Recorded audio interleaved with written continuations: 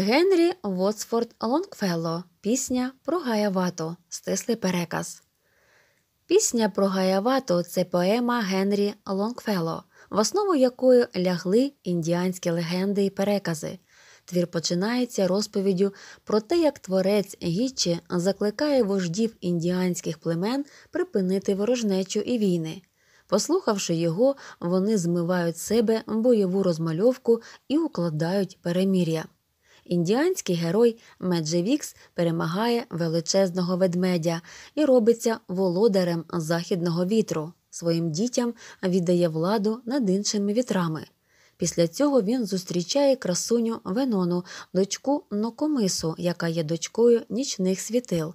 Полюбив дівчину Меджеківіс, стає чоловіком Венони і батьком їхнього сина Гаявати, а пізніше залишає їх. Венона вмирає від горя, Гаявата зростає під наглядом Нокомиса. Ставши дорослим, він намагається розшукати батька, щоб помститися йому за смерть матері. Бій з Меджевіксом триває три дні, після закінчення яких батько просить сина про припинення поєдинку, а за це пропонує йому бути володарем північно-західного вітру. Гаявата спочатку йде в ліс і сидить там сім днів, після чого повертається до свого народу і починає робити все, щоб їх життя стало краще. Очищає річки, перемагає злого чарівника, придумує писемність, вберігає посіви племені від ворон і псування злими духами. Гаявата одружується на прекрасній Мінегаго сусіднього племені. Злі духи, яким зовсім не до вподоби діяльність гаявати, починають шкодити йому спільно, насилають на нашого героя хворобу, від якої він видужав за допомогою ритуальних пісень і танців.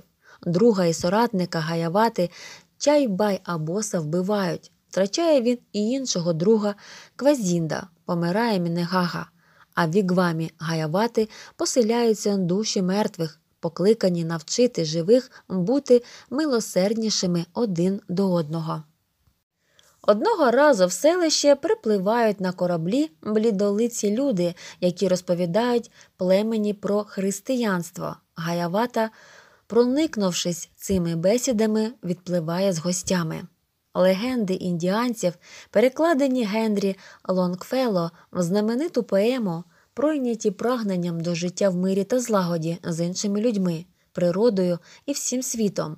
Вони вчать тому, що в житті може бути безліч неприємностей і скорбот, але необхідно долати їх і йти далі.